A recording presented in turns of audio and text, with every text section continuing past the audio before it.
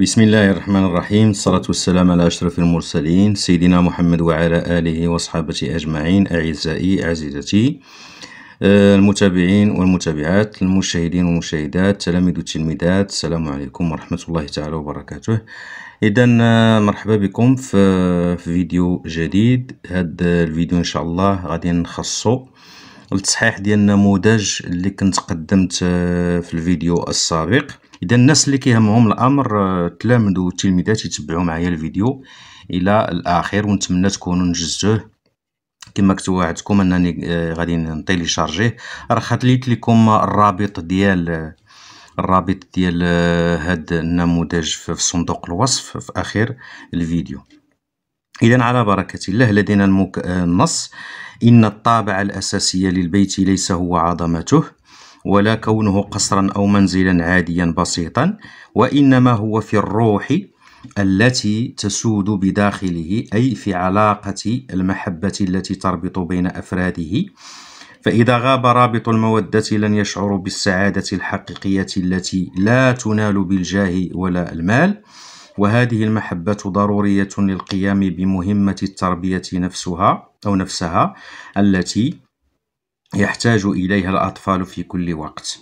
مهمة البيت نبيلة جدا لأننا نتعلم فيه مبادئ وسلوكيات حسنة تجعل الإبن مواطنا صالحا مستعدا لاستكمال آه، معلوماته لذلك فإن آه، الذين يعتبرون البيت مهد المعرفة الأول. هم صادقون جدا أينما يهتم البيت بزرع محبة الوطن وحاسة الرحمة يفلح أو يفلح في بناء عقليات متحضرات. عن كتاب النقد الذاتي لعلال الفاسي بتصرف إذا هذا هو المصدر ديال ديال هذا النص. إذا كما لاحظتوا أن النص كيتكلم لنا على المبادئ ديال التربية وكيتكلم لنا على البيت وهو كأول مدرسة يتلقى فيها الطفل مبادئ التربية الحسنة ويتلقى آه، مبادئ آه، التكوين ديال الشخصية ديالو. إذا بلا من غادي ندوزو مباشرة للأسئلة. شنو أول سؤال عندي هنايا؟ أحدد نوعية النص بوضع العلامة أه واش قصة ولا خطبة ولا مقالة ولا رسالة.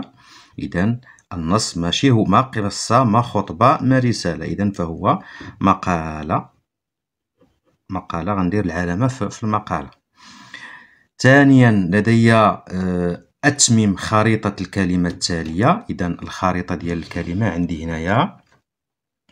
الكلمة هي الفعل غاب نوعها غنكتب هنايا. فعل. نوعها فعل. غاب يغيب. أه ضدها إذا الضد ديال الكلمة غاب غنكتب هنايا إختفى. إختفى.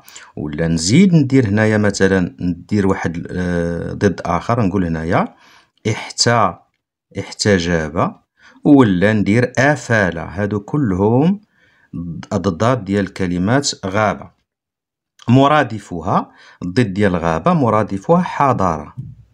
أه الجملة عندي هنا نركب الفعل غابة في جملة. نقول مثلا غاب غاب الأستاذ غاب الأستاذ عن الاجتماع. غاب الأستاذ عن الاجتماع. السؤال آه، باء أملأ مخطط عائلة الكلمة البيت. إذا هنايا غادي نشوف العائلة الكلمة ديال البيت. كلمات من عائلة البيت. ممكن نقول مثلا الفعل بات. وممكن نقول الفعل في المضارع مثلا يبيت. إذا بات ندير هنايا كذلك مبيت. مبيت. وممكن ندير هنايا بائت. اسم اسم الفاعل بائت. ممكن ندير هنا الجمع مثلا ديال آه ديال آه، بيت. نقول هنايا بيوت.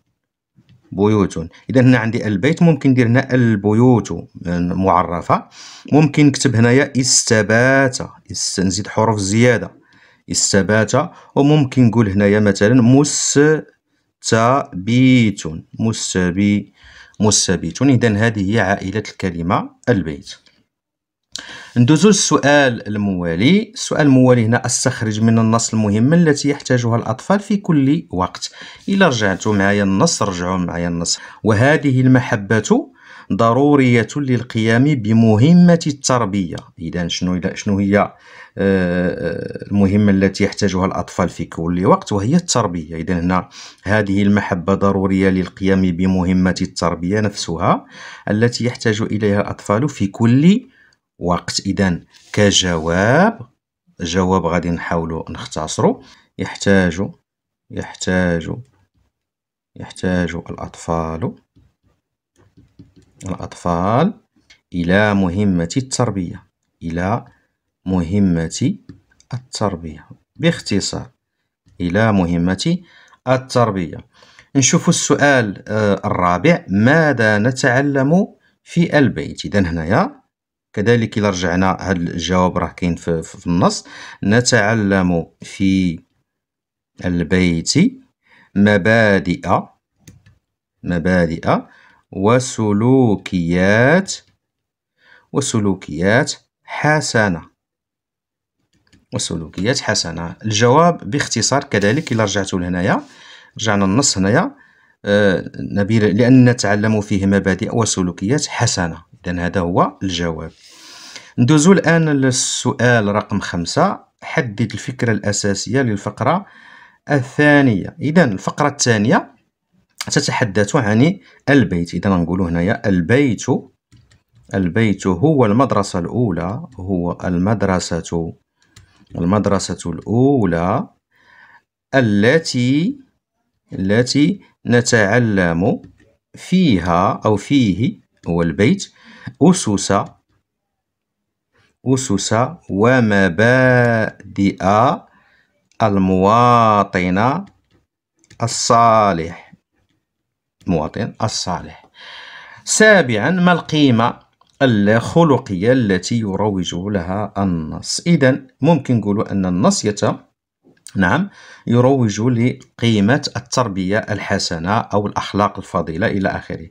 إذا نقول هنا يروج النص يروج النص لقيمة قيمة التربية الحسنة التي يتلقاها يتلقاها الطفل في البيت. البيت. باعتبار أن آه، البيت هو المدرسة الأولى. غادي ندوزو الآن المجال الرئيسي الثاني اللي هو الظواهر اللغوية عندنا المكون ديال الصرف والتحويل. هنا عندي ستة ديال النقاط. كما كتلاحظوا هاد النموذج راه عنده عنده التنقيط ديالو. بمعنى أي سؤال درتيه نعم. كتحتسب النقاط اللي عندك وكتعرف راسك هنا واش يعني راك راك متمكن آه، ولا في طور التمكن. اذا عندي هنايا وصلني في الأفعال التالية في الجدول. ساد يعبر إزرع وضع يدعو أمر. اذا عندي كما كنعرفوا القاعدة إلا بغيت نصنف واحد الأفعال آه، إلى أفعال صحيحة أو أفعال معتلة. خاصني ضروري نرجعو للضمير. نرجعو للماضي مع الضمير هو باش كنعرف باش كنعرف آه، الحروف الأصلية ديالو. إذا عندي سادة هذا فعل راه هو في الضمير هو في الماضي. بمعنى سادة هذا غادي نحاول نصنفو مباشرة. كما كتلاحظوا سادة عنده حرف العلة في الوسط. بمعنى هو راه فعل معتل ولكن هنا أجوف. إذا غنكتب هذا الفعل هنايا غنكتبو في خانة الافعال المعتلة. سادة. آه، عندي يعبر يعبر هذا الفعل في المضارع. اذا خصنا نرجعو للماضي. الفعل في الماضي هو نحيد لي المضارعة نقول عبر. هذا راه هو مضاعف ولكن ما فيهش حرف العله بمعنى راه فعل صحيح. غنكتبو هنايا يعبر. لاحظوا دائما تترجعوا الماضي مع الضمير مع الضمير هو يعبر. هذه راه الباء. يعبر. عندي هنا إزرع. يزرع هذا راه في, في الأمر. اذا في الماضي كنقول زارع. زارع هذا راه سالم اذا غنقول هنايا از إزرع. الفعل هو زارع راه هو صحيح سالم بمعنى سلم من الهمز ومن التضعيف وضع وضع هذا راه في الماضي مع الضمير هو ولكن عنده حرف العلة في الأول ديالو بمعنى راه راه مثال. وضع.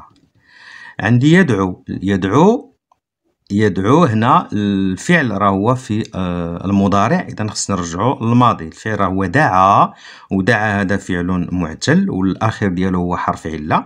إذا غنكتبو في ناقص. غنكتب هنايا يد يدعو يدعو. هنايا نحيدو ليه هاد الألف هنا. يدعو. آه، الفعل آمر. آمر هذا راه هو مهموز لأن الأول ديالو هو همزة وهو فعل صحيح. صحيح مهموز أمر اذا هنا سجاوبت على السؤال الأول وفي نفس الآن كنذكر بالقواعد. السؤال الثاني اتممه الجدول. عندي الفعل هنايا نجح ثم ساعد اسم الفاعل واسم المفعول. هنا إذن هنا القاعدة ضروري أنكم تذكروها. يصاغ اسم الفاعل من الثلاثي على وزن فاعل ومن غير الثلاثي بإبدال ياء المضارعة ميما مضمومة وكسر ما وكسر ما قبل الآخر أما اسم المفعول من الثلاثي على وزن مفعول ومن غير الثلاثي بإبدال ياء المضارعة ميما مضمومة وفتح ما قبل الآخر إذن عندي نجح هذا ثلاثي اسم الفاعل على وزن فاعل. ناجح. ناجح على وزن فاعل. اسم مفعول هنايا راه ما ما كاينش. هنا ما غنقولوش منجوح. منجوح لأن الفعل نجح راه هو فعل لازم. ساعد آه ساعد اسم الفاعل غادي نقول هذا راه رباعي غنقول ساعد مساعد. مساعد. هنايا مساعد اذا هنايا عندي رباعي. اذا يصاغ اسم الفاعل من آه، غير الثلاثي على وزن مضارعه بإبدال ياء المضارعة ميما مضمومة مو وكسر ما قبل الآخر. مساعد. وهنايا غنقول مسا العكس هنا كسري غندير فتحي. مساعد. مساعد.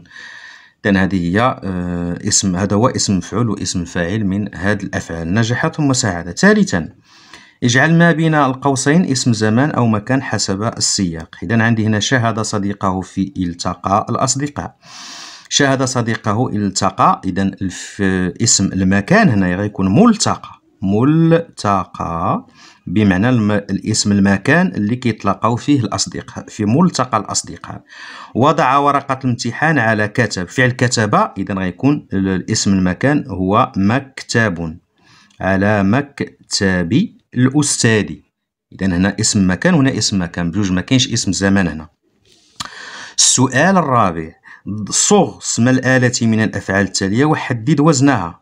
نجال راها اسم الآلة على وزن مفعال منجال من مع الشكلة منجال عفوا.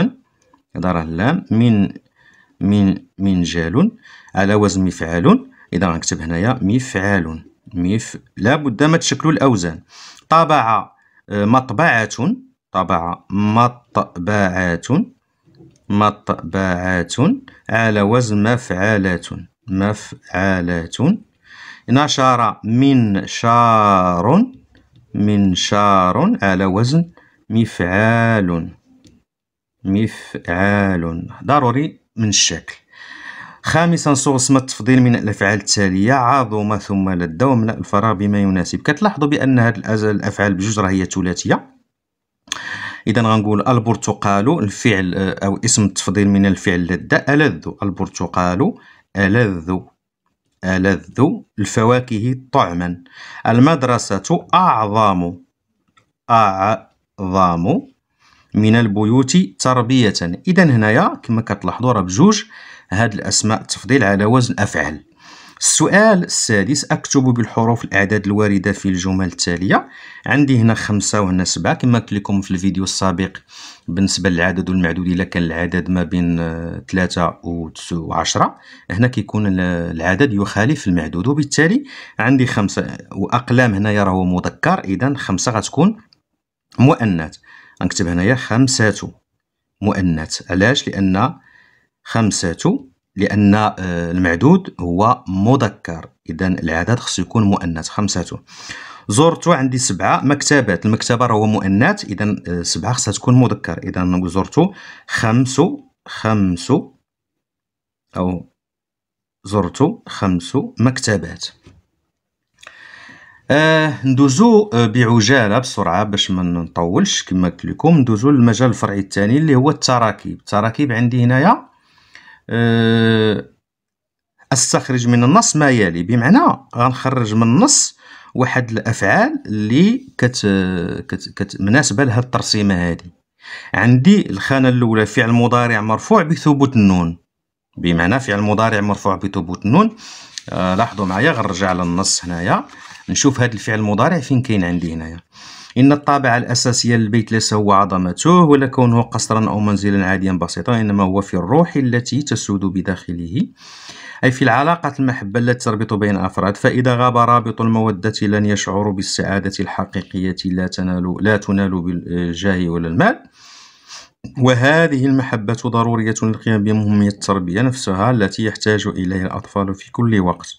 مهمة البيت نبيلة جدا لأننا نتعلم في مبادئ وسلوكيات حسنة تجعل الإبن مواطنا صالحا مستعدا لاستكمال معلوماته. لذلك فإن الذين يعتبرون هذا فعل مضارع ولكن راه مرفوع باش بثبوت النون إذا هذا من الأفعال الخمسة.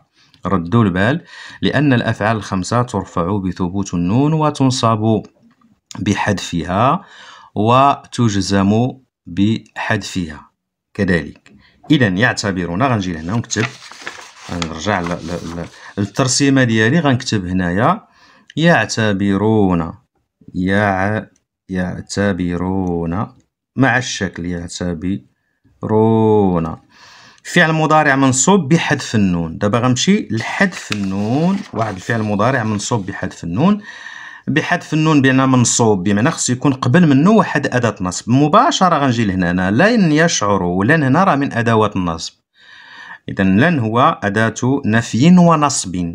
كنعرفوا بأن أدوات النصب التي تنصب الفعل المضارع هي أن لن كي اذا اذا كتذكير فقط. لن يشعروا اذا غنجي لهنايا. وغنكتب هنايا. يشعروا بلا ما نكتب لن لأن راها من من أدوات النصب. يشعروا لأن قبل منها لن. لن يشعروا راه منصوبة بحذف النون لأنه من الأفعال الخمسة. داخلة عليه لن.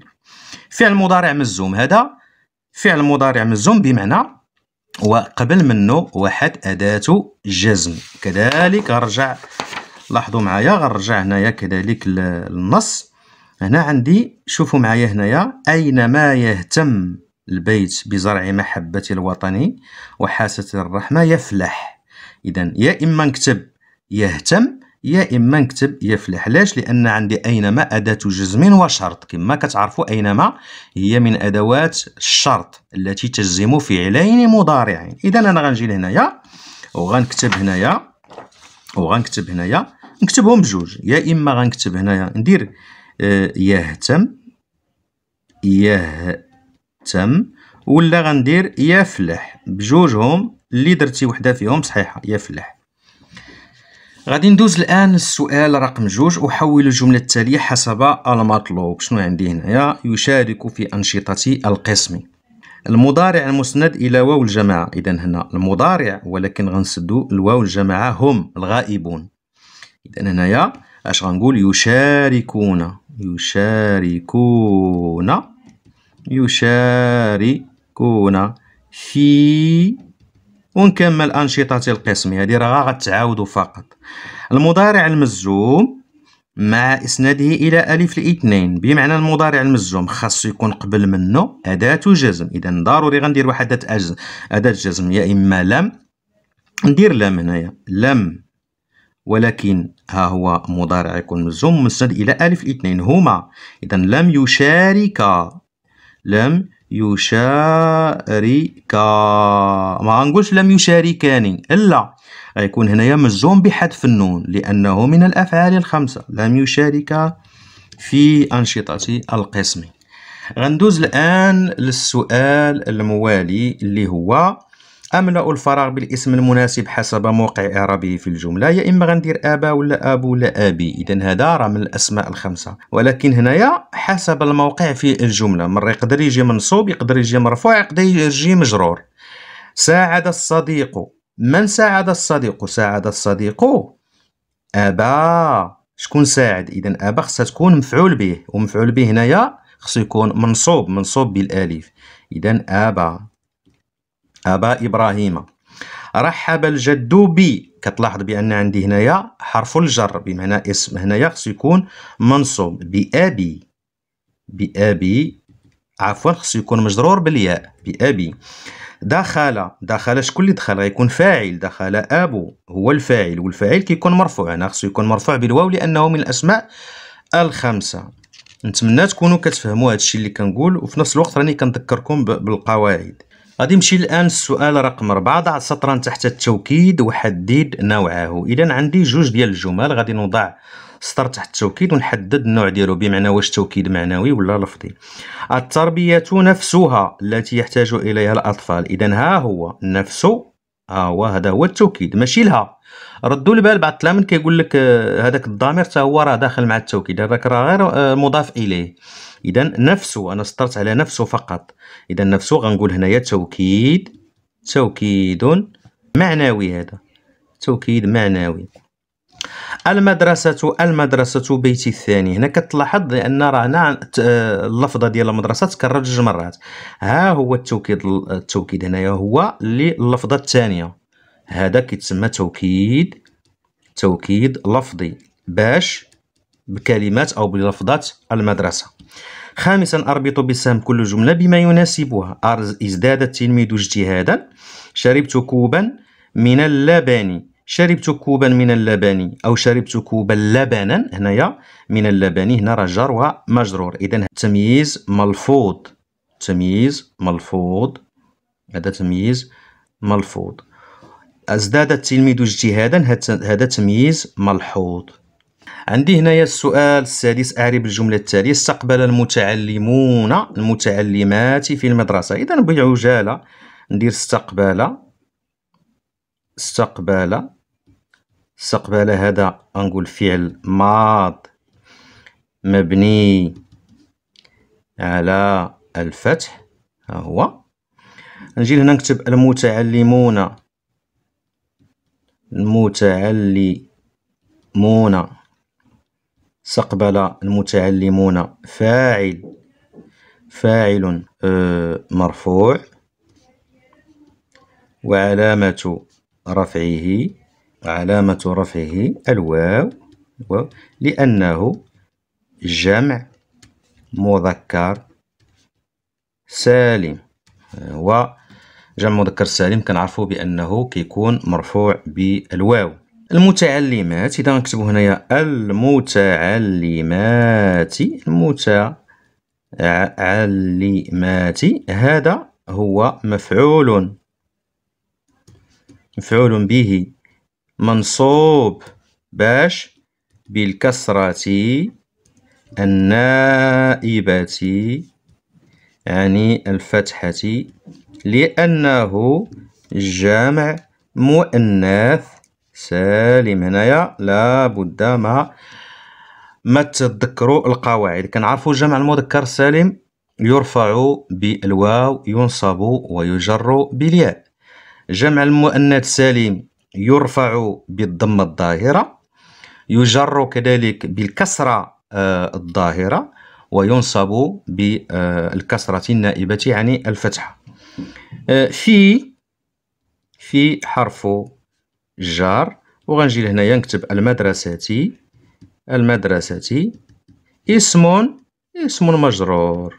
بالكسرة الظاهرة على خير ولا درت اسم مجرور كافية. ندوزو الآن المكون ديال المكون ديال الإملاء وغنوقفوا لأن هنايا عندي آه، الكتابة ويعني الشكل والتعبير الكتابي. غنخليهم في الفيديو الجاي إن شاء الله علاش لأن هنا كنلاحظ بأنني راني طولت بزاف. أملأ الفراغ بهمزة القطع أو همزة الوصل المناسبة. هنايا اشترى الفعل. هنايا يجب أن تكون همزة قطع تنطق لأنها جاءت في بداية الكلمة. اشترى أخي. أخيرها همزة قطع. أخي الهدية همزة وصل لا تنطق. خصنا نديروها فوق منها ميم صغيرة لأنها جاءت في وسط الكلام. عندي السؤال الثاني أكتب بنو أو بنو في المكان المناسب. نجح علي بنو محمد هنايا بنو بدون ألف. في الاختبار عاد عماد بنو القرية. نديرها باش عماد بنو القرية بنو القرية. علاش؟ لأن هنايا راه ما القرية ماشي اسم عالم. اذا هنايا بنو كنكتبوها بدون ألف إذا جاءت بين اسمين عالمين. هنايا عندي عماد اسم عالم ولكن هنا القرية ماشي اسم عالم. اذا غنكتبها بالألف. بنو القرية من المهجر. ثالثا أملأ الفراغ بالألف اللينة المناسبة. اشترى اشترى يشتري. هنا غتحول الياء في المضارع. إذا ألف مقصورة. مصطفى كذلك كنحولوها للمثنى غنقولو مصطفيان كتحول الياء إذا أصلها ألف مقصورة. هدايا ألف ممدودة. لكننا كنعرفو بأن الألف الممدودة تكتب في آخر الكلمة إذا كان ما قبلها ياء هدايا. من دولة تركيا كذلك. هنايا غنكتبوها بالألف لأن ما قبلها ياء. إذن هذه حسب القاعدة. املا الفراغ بالهمزة المناسبة سأل. هنايا همزة متوسطة على الألف لأن ما قبل هي مفتوحة وما قبلها مفتوح. رئيس غنكتبوها عليا لأنها جاءت مكسورة. بطء هذه همزة متطرفة غنكتبوها على السطر لأن ما قبلها ساكن. أه وضوء وضوء غنكتبها على غنكتبها على آه، الواو لأن ما قبلها ضمه أه نتمنى تكونوا أه فهمتوا معايا وتبعتوا معايا هذا الفيديو. الناس اللي ما مشتركينش يشتركوا في, في, في القناة و ويشجعونا على هذا المحتوى. موعدنا إن شاء الله في, في الفيديو الجاي غادي نصحح فيه الشكل ونصحح فيه مكون التعبير الكتابي. أه والسلام عليكم ورحمة الله تعالى وبركاته.